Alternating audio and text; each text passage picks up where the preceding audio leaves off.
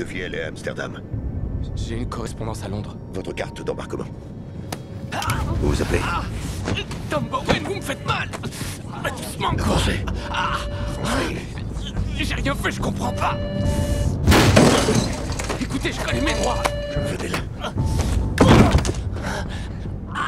Mark, je écoutez-moi.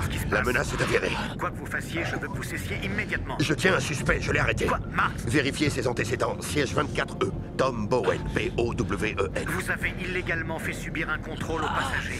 On n'a pas le temps de discuter. superviseur avant votre départ et vous l'avez menacé. Quoi Il ne voulait pas modifier votre vol retour et vous avez dit que vous feriez ce que vous aviez à Je faire. n'ai menacé personne. exact Je veux que vous fassiez une recherche sur Tom Bowen. Siège 24E. Maintenant, ça suffit. Tout de suite, vous perdez un temps précieux. Agent Marx, vous êtes relevé de vos fonctions. Est-ce que vous me comprenez? Dans trois minutes, quelqu'un à bord de cet avion va mourir. Est-ce que vous, vous me comprenez?